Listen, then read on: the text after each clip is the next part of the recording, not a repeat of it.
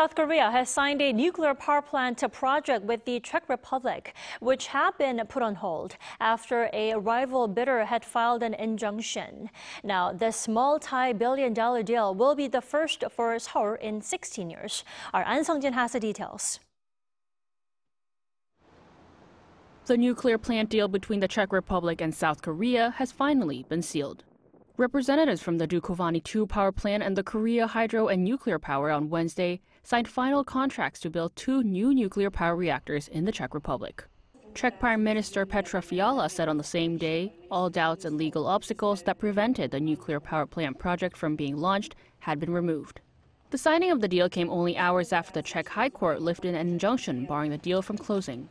The two parties were originally to sign the contract on May 7th until the losing bidder EDF of France had filed for and won an injunction, delaying the project's timeline. However, Dukovany and KHNP appealed the ruling and the court declared that the injunction was unverifiable. The 18.6 billion US dollar deal will result in the expansion of the Dukovany nuclear site with the construction of two 1000 megawatt units, with the first to be completed by 2036. This deal is the first such project for KHNP in Europe and the company's first overseas project since a deal made with the UAE in 2009. According to pundits, the deal proves South Korea's technical skills and economic feasibility for nuclear plants, while they also say it could be a turning point for Seoul's nuclear plant expansion into the European market. Ahn Sung-jin, Arirang News.